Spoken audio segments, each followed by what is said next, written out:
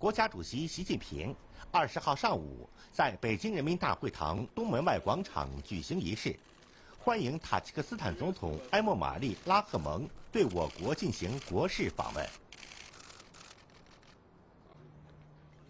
全国人大常委会副委员长向巴平措、国务委员杨洁篪、全国政协副主席陈元等出席欢迎仪式。陪同拉赫蒙访华的有外交部长。总统外事国务顾问、财政部长等，军乐队奏塔中两国国歌，鸣礼炮二十一响。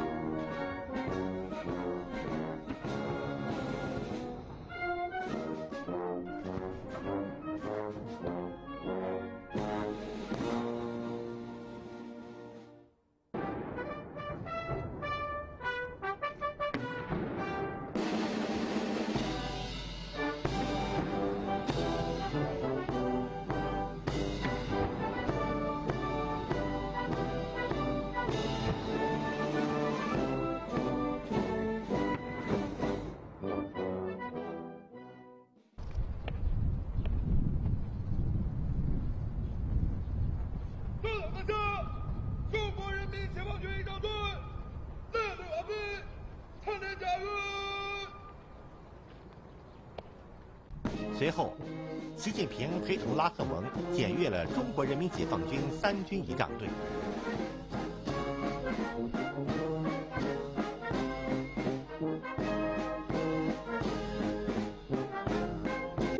拉赫蒙是应习近平的邀请，对我国进行国事访问的。Thank you.